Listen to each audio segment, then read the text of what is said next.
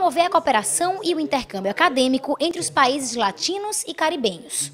O Instituto de Estudos da América Latina, da UFPE, vem fortalecer a integração dos trabalhos que já vinham sendo realizados na área. Uma das coisas interessantes desse instituto é descobrir que aqui nessa universidade já haviam 15, já havia 15 grupos de pesquisa trabalhando sobre a América Latina e que não tinham nenhuma conexão entre si. Interessante, né?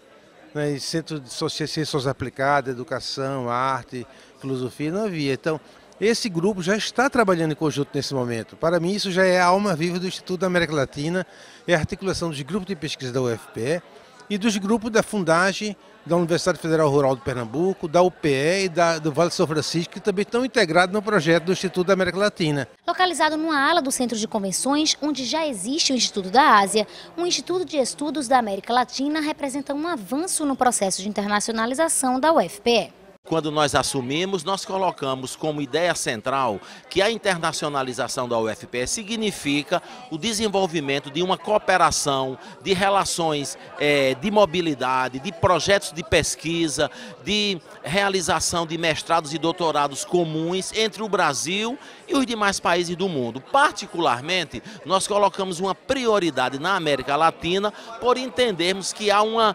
convergência de interesses e de culturas entre o Brasil, América Latina e América Central. A cerimônia de inauguração do Instituto foi realizada na manhã desta segunda-feira, dia 1 de junho, no auditório Reitor João Alfredo, na reitoria da UFPE. Durante a ocasião, o professor Willy Soto Acosta, da Universidade Nacional da Costa Rica, ministrou a palestra Tendências da Pesquisa Social na América Latina Contemporânea. Um panorama Segundo o docente, a exposição traça um panorama do que tem sido a investigação científica na América Latina e no Caribe, os avanços das ciências sociais e os vazios nos estudos na área. A ênfase fica nas necessidades da pesquisa em ciências sociais na América Latina e no Caribe.